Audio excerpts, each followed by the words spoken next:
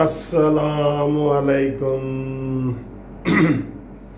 मेरे प्यारे भाइयों, दोस्तों, अजीज़ों, बहनों, सबको कानूनी टीवी चैनल का बहुत बहुत सलाम।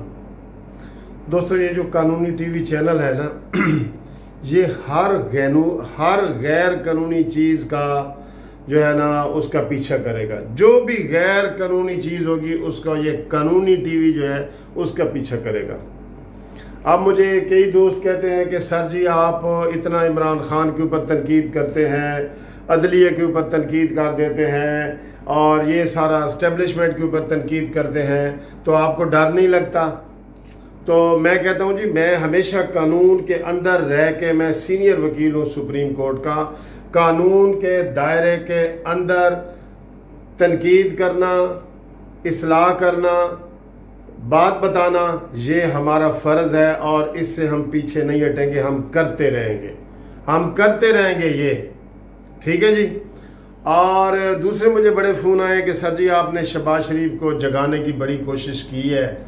और हम आपका शुक्रिया अदा करते हैं। आप हर वीडियो में शबाज शरीफ को जगाने की कोशिश करते हैं, जगाने की कोशिश करते हैं। ये मुस्लिम लीग नून वालों ने कहा है। कहते हैं, जगाते जगाते कहीं खुद ना अंदर हो जाए आप। कहीं खुद ना आपको जो है ना अंदर कर दिया जाए। आप इतनी ज़्यादा तनकीद करते हैं। और फिर शबाज शरीफ को जगाने में कानूनी टीवी चैनल ने अहम रोल अदा किया है। ये उनके अल्फाज हैं अपने नून लीग वालों के।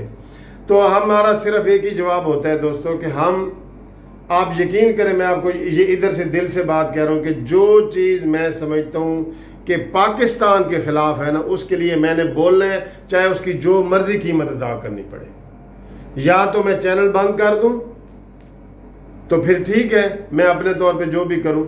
लेकिन हमने आवाज़ उठानी है, हक सच की आवाज़ उठानी है, कानून के दायरे के अंदर उठानी है, उसमें हमें कोई जो है ना वो रुकावट नहीं होगी, ना आएगी। मुझे पता है कहाँ पे कंटेम्प्ट लगती है, मुझे पता है कहाँ पे मैं नजायज़ बातें कर रहा हूँ, कुछ ज़ातियात की बातें कर रहा हूँ, वो मैं नहीं करता। मैं हमेशा जो हक सच की बात होती है, वो कानूनी टीवी चैनल करता है और करता रहेगा। आप अप्रिशिएट करते हैं, पसंद करते हैं लाइक करते हैं शेयर करते हैं, मैं आपको बहुत सलाम करता हूँ। आप ही हमारा हौसला है दरअसल। ठीक है जी? तो आज जो आपके सामने वीडियो लाए हो ना सर, वो बड़ी ज़बरदस्त है।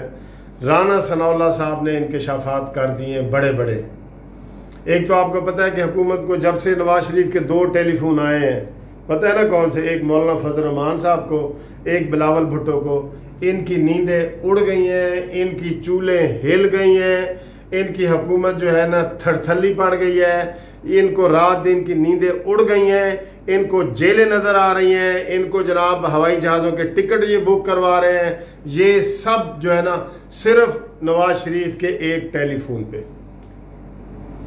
अब ये आज राना सनाउल्ला ने बात की है, उन्होंने कहा, जी, अभी तो ये नवाज़ शरीफ के उन्होंने एक टेलीफोन आया है, एक तस्वीर आई है तो ये इतने परेशान हो गए हैं।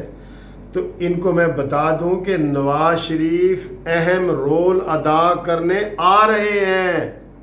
ये आज की बात है जनाब। नवाज़ शरीफ ने फैसला कर लिया है कि मैंने अहम रोल अदा करना है। दूसरे लफ्जों में यह है कि डू आर डाई, करना है या मरना है। ये उन्होंने तय कर लिया है, बिल्कुल तय कर लिया है पाकिस्तान के लिए। वो मज़ीद पाकिस्तान को डूबता हुआ नहीं देख सकते। आपको याद है कि जब कलसूम नवाज़ को वो छोड़ के आए थे तो उन्होंने कहा था कि मैं पाकिस्तान जा रहा हूँ, अपनी बेटी को लेके। मुझे पता है मैं सीधा जेल जा रहा हूँ, लेकिन मैं पाकिस्तान और पाकिस्तान के अवाम के लिए जा रहा हूँ। ये उनका बयान था आने से पहले। तो दोस्तों, ये उन्होंने कहा है कि जनाब नवाज़ शरीफ साहब ने अहम रोल अदा करने का फैसला कर लिया है। तो उनसे पूछा गया कि जनाब वो कब आ रहे हैं? उन्होंने कहा, जी, जो ही तहरीक का आगाज़ होगा तो नवाज़ शरीफ साहब ऐसे आ जाएँगे। आप फ़िक्र ना करें, आ जाएँगे। और दोस्तों, मैंने भी आपको कहा था कि इन इस हफ़्ते किसी वक्त भी मरियम नवाज़ की या नवाज़ शरीफ साहब की एक प्रेस कॉन्फ्रेंस आने वाली है। प्रेस कॉन्फ्रेंस आने वाली है, जिससे सारे ये मसले हल हो जाएँगे इन और आप देख रहे हैं कि कल के जनाब इन्होंने एक और शोशा छोड़ा हुआ है कि शबाज शरीफ ने जी जमानत दी थी और उसने बयान अल्फी दी थी।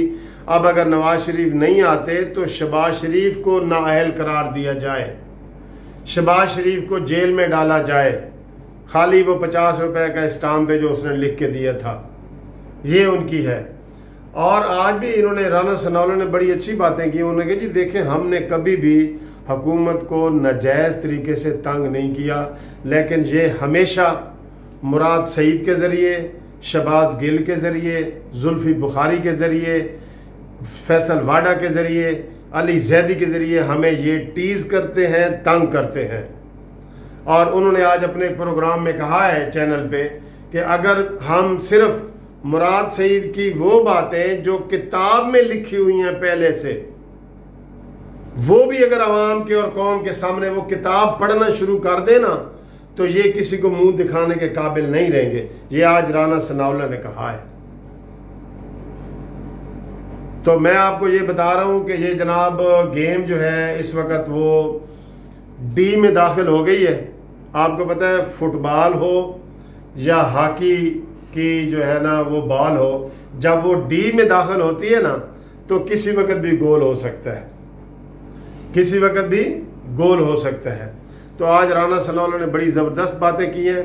और आपको ये, मैं कोई, उसमें कोई नून लीग वालों के अंदर कोई तफरकाबाजी नहीं देख रहा, वो कोई ऐसी बात नहीं है। लेकिन वो हमेशा जो है ना, पंजाब के सदर है, वो मुस्लिम लीग नून के राना सनौला और जो मरीम नवाज़ साहबा ने प्रेस कॉन्फ्रेंस की थी, उसमें राना सनौला साहब जो है, वो मरीम नवाज़ साहबा के बिल्कुल दाएँ हाथ पे बैठे थे।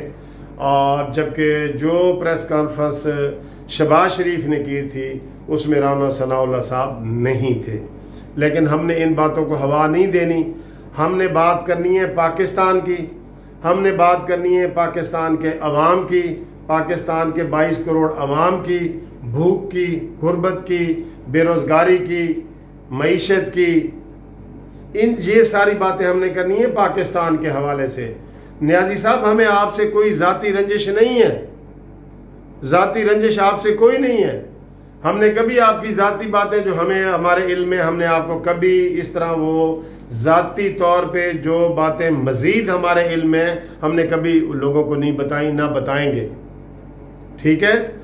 लेकिन अगर कोई पाकिस्तान की बात होगी तो उसको बताने में हम नहीं डरेंगे। ठीक है दोस्तों? आप जो आपको ये राना सनावला साहब ने आज खुशखबरी सुनाई है ना वो मैं आपको ये बता रहा हूँ कि किसी वक्त भी एक प्रेस कॉन्फ्रेंस भरपूर तरीके वाली आपके सामने आ सकती है। आज फिर उनको दौरे पड़े हुए हैं। फ़याजुल हसन चौहान ने प्रेस कॉन्फ्रेंस की है, शेख रशीद साहब ने की है, और दूसरे सारे फवाद चौधरी साहब ने, यासमीन राशिद के ख़िलाफ़ यासमीन राशिद ने या फवाद चौधरी के ख़िलाफ़, सारे एक दूसरे के ख़िलाफ़ बातें कर रहे हैं। अब इनको समझ नहीं आ रही कि हम क्या करें। कि नवाज़ शरीफ तो सेहतमंद हो रहे हैं। ये इनको दुख है। देखिए, हद है, इनको ये दुख है कि नवाज़ शरीफ सेहतमंद क्यों हो रहे हैं? वो चलते फिरते क्यों हैं? उन्होंने एक और बात की है कि अगर ये नवाज़ शरीफ तो डॉक्टर की हिदायत के मुताबिक एक्सरसाइज भी कर रहे हैं। कहते हैं, अगर वो वीडियो सामने आ गई तो फिर इनका ये तो दीवार से टकरे मारेंगे। राणा सनाउल्ला कहता है कि अगर वो वीडियो एक्सरसाइज वाली जो वीडियो है नवाज़ शरीफ साहब की, जो डॉक्टर की हिदायत के मुताबिक हर रोज़ वो करते हैं, अगर वो इनके सामने वीडियो लीक हो गई और सामने आ गई, ये पीटीआई वाले दीवार से टकरे मारेंगे। ये इतने घबराए हुए हैं। इनको होश नहीं है, यकीन करो इनको होश नहीं है। मैंने कल कितनी जज्बाती तकरीर की थी कि अब ये हुकूमत के पास सिर्फ़ एक मसला रह गया जिसपे वफाकी कबीना ने इजलास बुलाया था कि नवाज़ शरीफ को वापस कैसे लाया जाए। अब एक दूसरे के ऊपर कीचड़ उछाल रहे हैं ना, वो कहते हैं, शेख रशीद, तुमने कहा था, जाए। वो यासमीन राशिद को कहते हैं, जी, तुमने कहा था। फवाद चौधरी कहते हैं, जी, मैंने नहीं वोट दिया था, मैंने दिया था। ये इस तरह की बातें अब कर रहे हैं, इनको समझ नहीं आ रही कि हम क्या करें। समझ नहीं आ रही इनको। लेकिन मैं आपको बता रहा हूँ कि नवाज़ शरीफ साहब आ रहे हैं, नवाज़ शरीफ साहब प्रेस कॉन्फ्रेंस कर रहे हैं, मरियम नवाज़ साहबा प्रेस कॉन्फ्रेंस कर रहे हैं और अगर दूसरे लफ्ज़ों में कहूँ तो दमदम मस्त कलंदर होने वाला है इन ताला। और नवाज़ शरीफ साहब ने कह दिया है कि हम डरने वाले नहीं हैं, हम घबराने वाले नहीं हैं, हम पाकिस्तान के लिए आएँगे और पाकिस्तान के लिए अगर जान भी देनी पड़ी तो देंगे। और वो कहते हैं कि तमन्ना है कि दुनिया में कुछ काम कर जाऊँ। नवाज़ शरीफ साहब कहते हैं कि तमन्ना है कि दुनिया में कुछ काम कर जाऊँ। अगर कुछ हो सके तो खिदमत इंसान कर जाऊँ। और मर तो जाना है मुनसिफ तूने एक दिन बिल आखिर काश मरते मरते रोशन पाकिस्तान कर जाऊँ। थैंक यू सब्सक्राइब करने का शुक्रिया।